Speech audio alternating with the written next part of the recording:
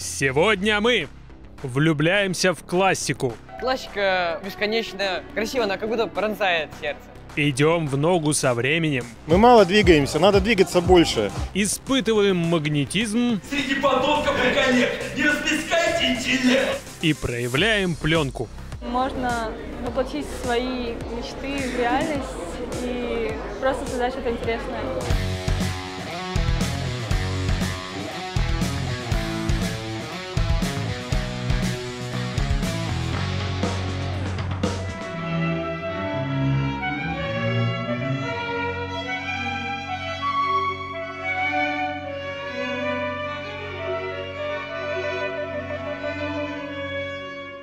Музыка в лютеранских соборах зазвучала где-то в середине 17 века и почти сразу превратила церковь из чисто религиозного места в культурный центр.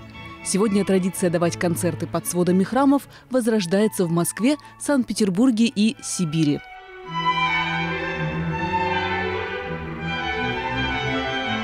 Омскую кирху построили в 1995 году немецкий архитектор Швигер и наш Альберт Каримов. Натуральные материалы, кирпич и дерево, продуманное освещение и потолок высотой 14 метров. Архитекторы детально выверяли пространство для создания уникального аутентичного звучания.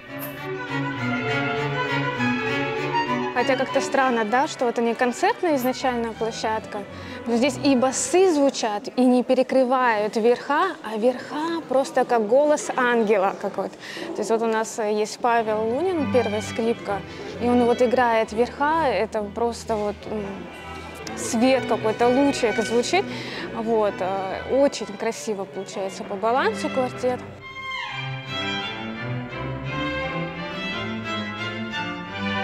Невероятно нежно прозвучала пьеса Дмитрия Шостаковича из детского цикла. Кстати, именно этот композитор придумал праздновать 1 октября Международный день музыки.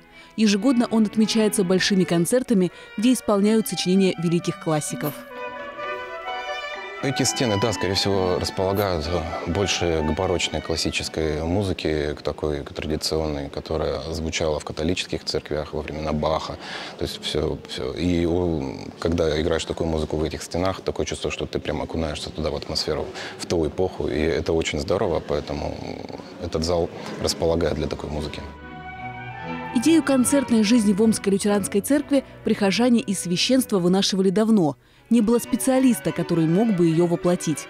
Тогда епископ предложил должность концертмейстера Дмитрию Креймеру. Органист и дирижер лютеранской общины в Красноярске согласился и переехал в Омск. Теперь каждые выходные в кирхе будет звучать музыка для всех.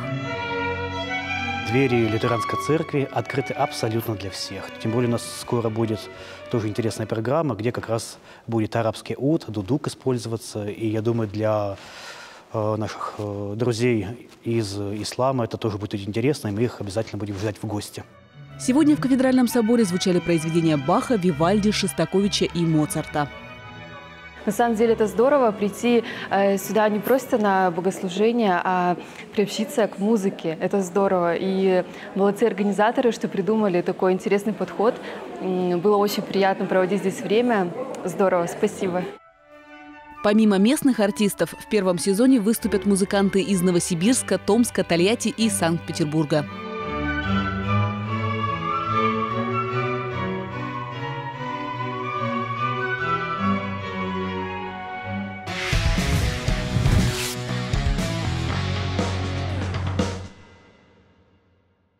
Жизни каждого случался такой паршивый период, когда было не с кем гулять. Вот, например, такие товарищи не всегда отвечают тебе взаимностью. Тогда что скажете вы делать? А взять и прийти на Всероссийский день ходьбы. Птичья гавань принимает Всероссийский день ходьбы. Цель Амичей – пройти 10 тысяч шагов. Необходимую, как принято считать многими, норму пересчитали в 3 километра. Расстояние серьезное, поэтому участники разминаются. 10 тысяч шагов. Это много или мало? Мало. Мы летом 25 обычно проходим, когда гуляем. Можно было в магазин сходить. Нет. Нет. Десятый старт в этом сезоне. 10 тысяч шагов. Много или мало? Мало. Можно же просто походить вокруг дома, я не знаю. Нет, тут парк, тут красиво. Мы вообще каждый день после работы идем пешочком. Там пару, три-четыре остановки, потому что ну, целый день сидеть.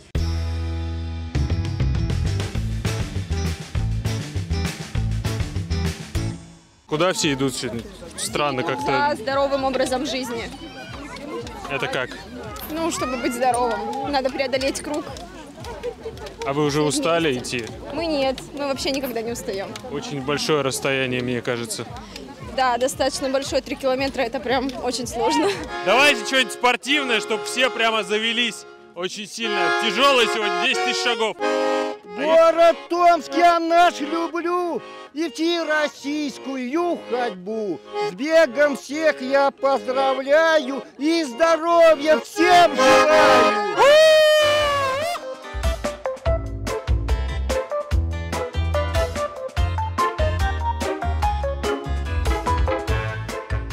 Подсчет ведете участников? Больше 600 пришло. Впер- Вот мы сюда, когда встали, смотрим, колонной шли люди, вот просто. Прям на ходу подсчитывали? Раз, два, три, четыре. Да, Да больше ладно. 600. Я же говорю, я математик. Ну, как будто только до пяти можете считать. Ну и это тоже.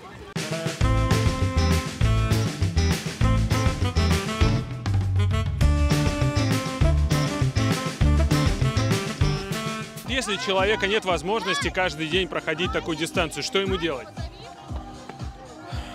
Вставать с дивана и ходить. Нет, 10 тысяч это вот ну прям минимум, который нужно современному человеку. Ну потому что мы действительно очень мало двигаемся. У нас дом, работа, машина, городской транспорт или личный автомобиль, там диван, компьютер. Мы мало двигаемся, надо двигаться больше.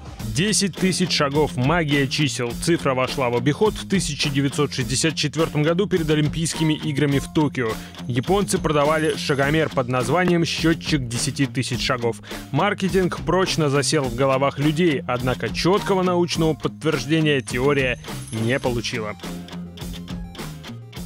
5 или 10 тысяч шагов не так важно, как признаются участники соревнований. Главное любить себя и помнить, что Кроме этого, это строчки из стихотворения поэта Аркадия Кутилова. Намек на следующий сюжет.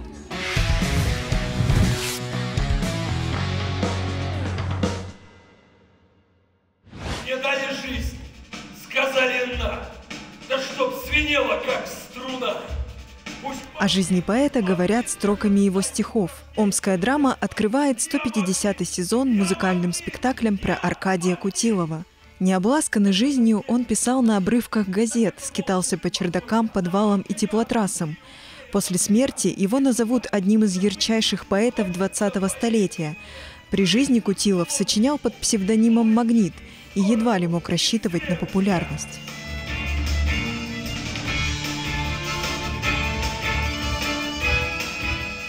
Автор идеи и композитор спектакля Тарас Михалевский с детства пишет песни на стихи поэтов. Рассказывает, что музыка для постановки о писалась с 1998 года. Когда мы стали делать спектакль, многое я переосмыслил. Какие-то песни не вошли, какие-то я новые дописал. Позвал музыкантов серьезных, э, например, группа «Фрукты». Э, У меня барабанщик там, перкуссионист замечательный, Фидель Алехандро. Тимур Усубов, тоже наш Амичи, в Большом театре сейчас играет на скрипке. Ну, в общем, подтянулись какие-то серьезные ребята, фермачи. И мы записали все аранжировки в Москве. черный лось, напугай меня белым рогом. Бей копытом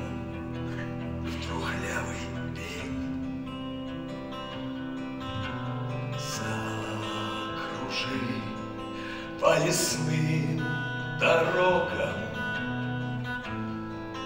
но верни мне из детства день. Важную роль в этой истории играет беглец, молодой парень, который только начинает жить, однако уже успевший оступиться. Магнит становится его наставником, дает шанс выучиться на своих ошибках. Вместе с беглецом поэт листает страницы своей биографии. Послевоенное детство, проблемы в семье, годы в заключении, бродяжничество и последние мгновения жизни. То, о чем писал Кутилов, это сложная история. Он был открыт, открыт миру, понимаете, но мир его не принял. Не принял такого поэта, как бы. Потому что он э, бомжевал, потому что он э, лежал в дурдоме, понимаете. И когда из Омска сбегать собираешься? Ну, видимо, сегодня, если повезет. Распускайте, милый друг, как ручеек из теплых рук. Среди порядочных людей, среди ворон и лебедей, среди подонков и коллег. Не расплескайте интеллект! Нет, да. не пора тебе с кем-то попрощаться. Самое время.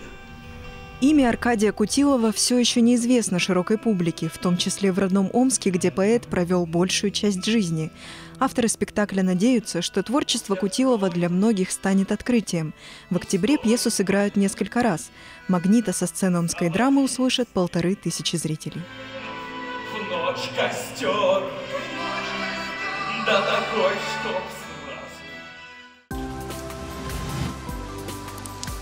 Подписывайтесь на наш канал.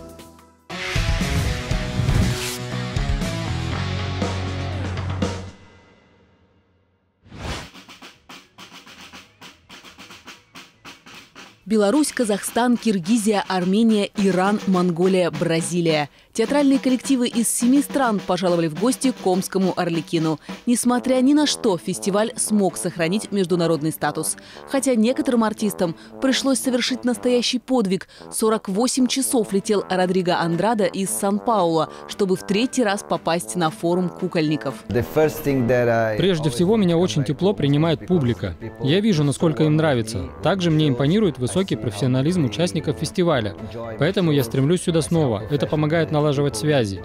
Я на этот раз привез спектакль «Где мой нос?». Эту историю я помню с детства. Ее рассказала мне мама. Она о клоуне, который потерял свой нос.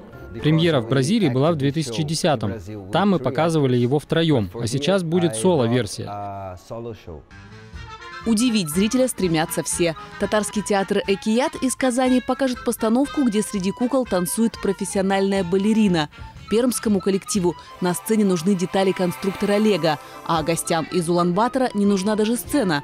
Впервые спектакль будет показан на площади, где будет выстроена а, такая импровизированная палатка юрта, в которой будет проходить сам спектакль. Впервые к нам приехал театр из Кыргызстана.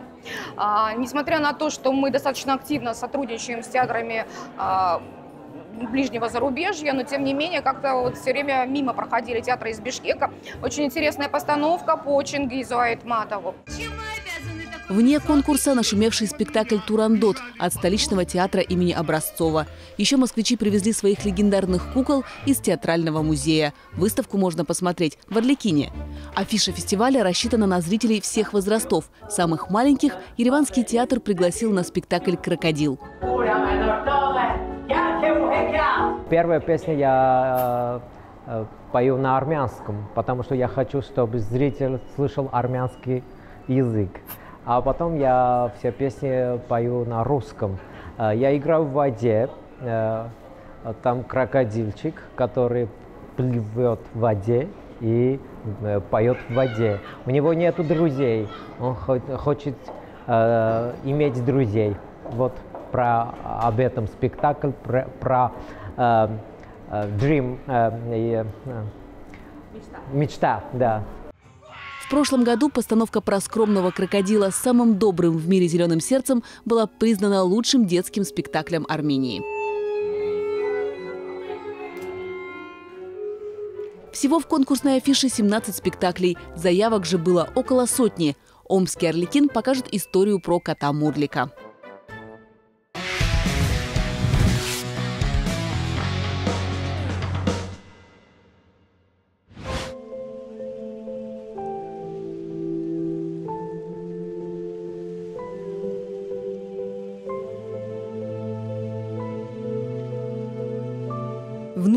Дворик главпочтамта – территория Гранжа.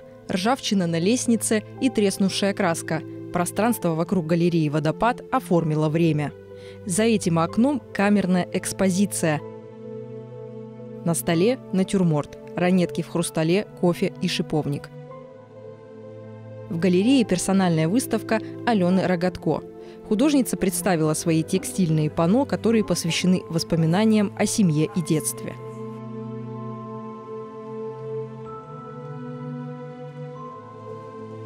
Эти работы – попытка пробудить в зрителе ощущение тепла и безопасности, обволакивающие и трогательные.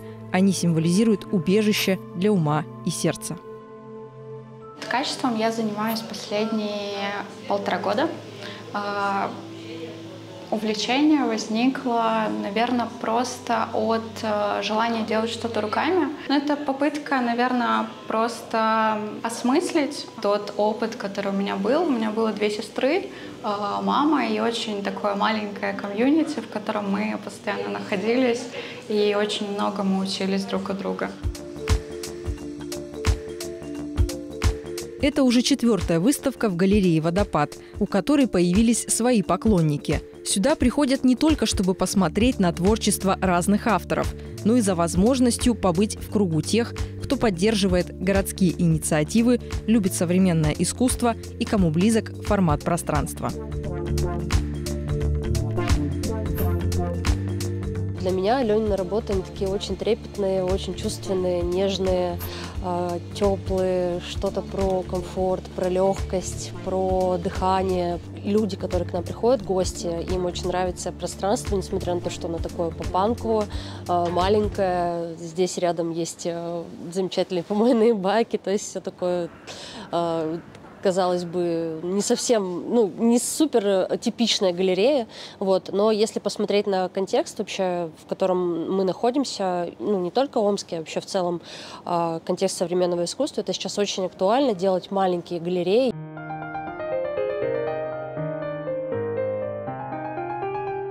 На многих работах Алены чувства изображены через руки. Они оберегают, согревают, поддерживают – эти простые образы создают ностальгию, возвращают нас к собственным счастливым моментам, показывая, что память может стать опорой для души.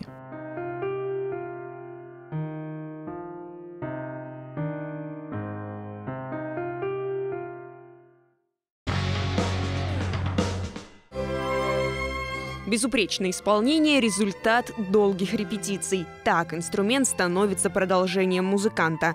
Прочную связь демонстрируют ученики Центральной музыкальной школы Академии исполнительских искусств на сцене Омского органного зала.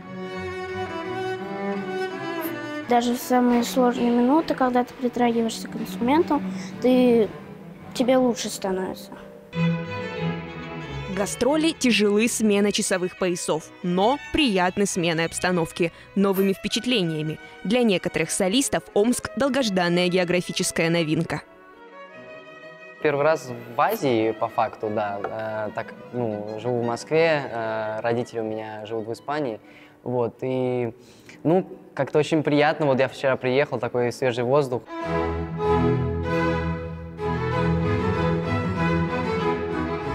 Когда человек играет о музыке, он должен думать только о наслаждении, потому что музыка — это равно наслаждение. Профессионалы на удачу не рассчитывают, прогрессируют благодаря работе на репетициях. К этому выходу на сцену виолончелистка Ольга Ушакова готовилась 8 месяцев.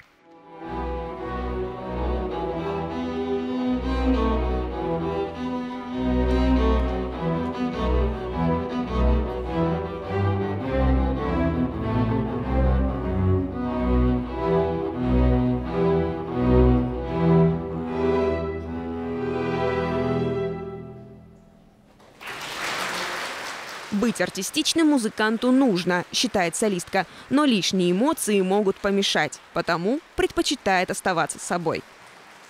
Если я подумаю о чем-то лишнем, то есть не о музыке, то мне сразу сбивается текст. Если ты будешь кого-то изображать, э, то все, ну, по крайней мере, мое мнение, что все будут думать, о, фу, плагиатер. Когда я была маленькая, у меня было волнение такое, что типа, а вдруг я облажаюсь. А сейчас я такая, все на мана. Выпиваю кофе и дальше. На лени мультики у ребят просто нет времени. Музыкальная красота требует жертв.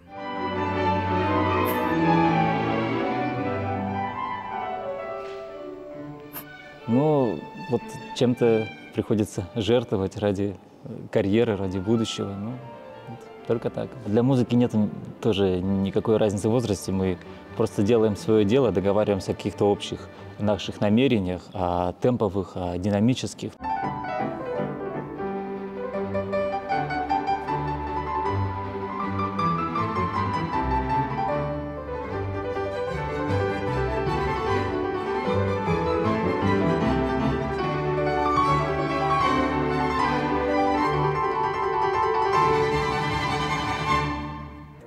Медленно не очень люблю.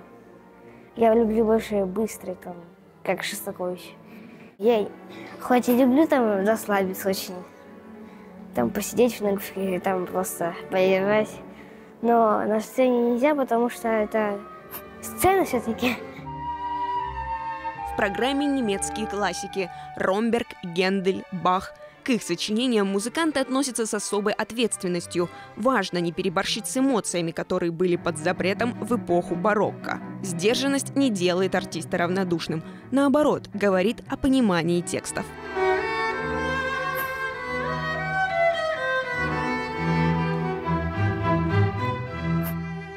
Ну, а сейчас зачастую слушаю трэп-песни, и слова уже все объясняют, а здесь ты можешь найти что-то свое.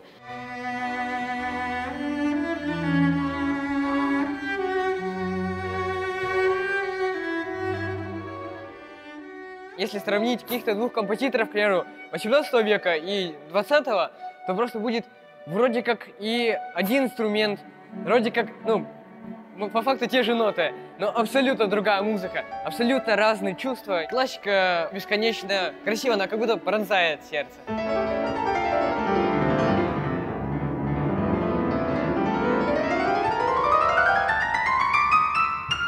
Мы приходим для вдохновения для своих детей, потому что после просмотров наш ребенок тоже захотел играть на инструменте и также выступать на сцене. Мы ходим уже третий раз, приходим на концерты учащихся Центральной музыкальной школы. Конечно, это большое удовольствие. Получить новую порцию мотивации воспитанники ЦМШ приглашают Амичей 11 ноября. Вновь в коллаборации с камерным оркестром музыканты обещают представить программу «Игрушки на елке». Подписывайтесь на наш канал.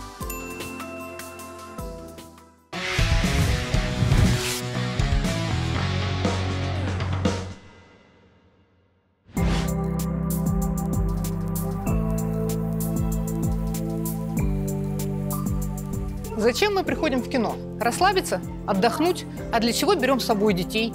Просто побыть вместе? Или все-таки чему-то научить? Показать хороший пример? Помочь поверить мечту? Какой он, современный детский фильм? Об этом говорили на Международном кинофестивале семейного и детского кино «0+.»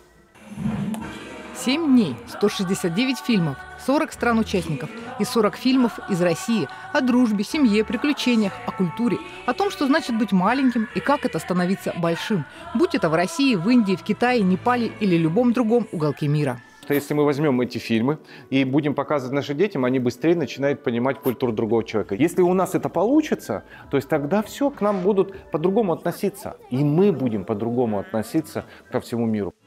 Хедлайнер фестиваля «0+,» в этом году – вторая часть фильма про озорного школьника Ивана Семенова от режиссера Антона Богданова, того самого Антохи из известного сериала. На этот раз главный герой фильма отправляется в большой поход. И очень хочется сказать, что, ребят, детство одно. Берите рюкзак, выходите из дома, закройте ноутбук. Но просто посмотреть фильм мало. Увиденное важно осмыслить и обсудить. Тогда кино перестает быть развлечением, превращается в пособие по личностному росту. Об этом гости и жюри фестиваля говорили на форуме «Кинопедагогика». Запрос на духовность и нравственность в обществе уже давно созрел. Вести уроки кинопедагогики можно в школах, кинокружках на базе социальных кинозалов. Кино Кинопедагогика сегодня очень важна в глобальном масштабе. Россия сейчас является ведущей страной в кино и медиаобразовании, что очень важно для наших детей, которые подвергаются множеству разных опасностей, исходящих из интернета. А пока взрослые думали, как учить детей, дети и подростки учились искусству дубляжа, мультипликации и кинотанцу. И, конечно, просто ходили в кино. Из всех искусств для нас важнейшим является кино. А почему? Потому что оно доступно и много может научить. Для тех, кто не смог приехать в Тюмень, работает специальный онлайн-кинотеатр «Зеро Плюс». Смотрите кино. Но не забывайте про формулу кинопедагогики. Смотрим, мыслим, говорим.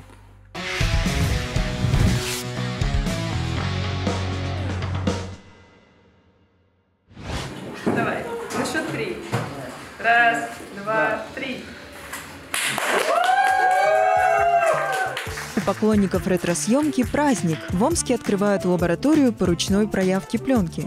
В 2023-м эта фотография остается популярной.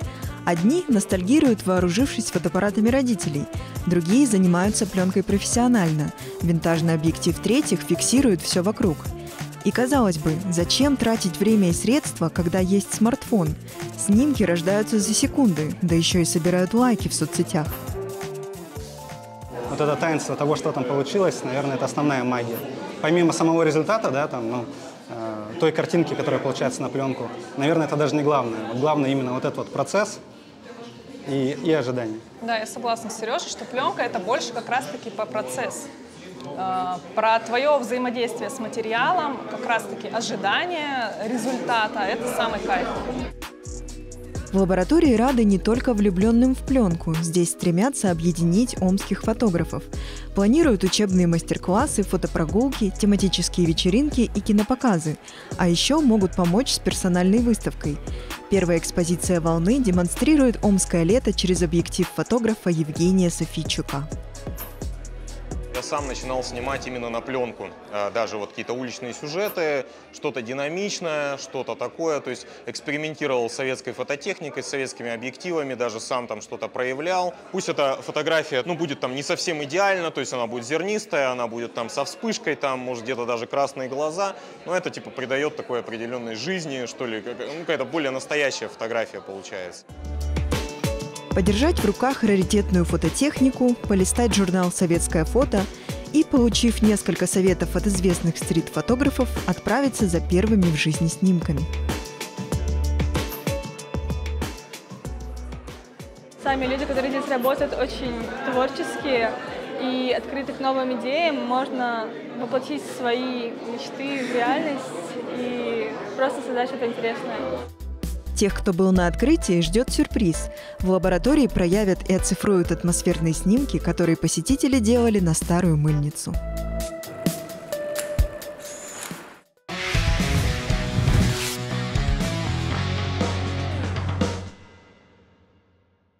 Всем привет! Пятница означает только одно – время планировать выходные. Хватит Николая получать все лучи славы. Сегодня с вами я, Полина, и сейчас я расскажу, как провести свое свободное время.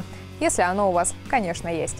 Все мы знаем, кто лучшие друзья девушек. 6 октября нас приглашают на мастер-класс по ювелирным украшениям. Расскажут, как с их помощью создать уникальные образы и подчеркнуть свою индивидуальность. Эх, вот бы увлечься и как бы невзначай уйти домой с цепями наперевес.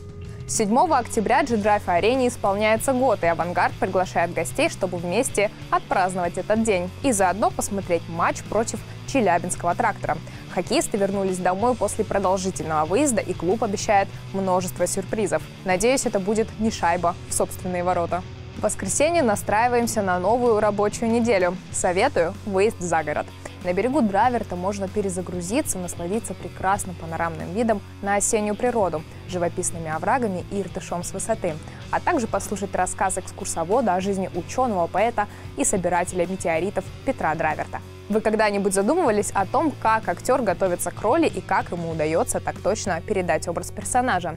На эти и многие другие вопросы ответят артисты омских театров. Приходите в дом актера, там ждет мир за кулисья. 13 октября в музыкальном театре будет горячо. На сцене встретятся 8 влюбленных женщин. Детектив о том, как дамы трех поколений расследуют убийство главы семьи. А кто еще? Ведь кто, как не мы, знаем, что лучше сделать самой, чем кого-то просить. Интрига одна, к чему приведет эта инициатива. А на этом у меня все. Я желаю вам насыщенных выходных.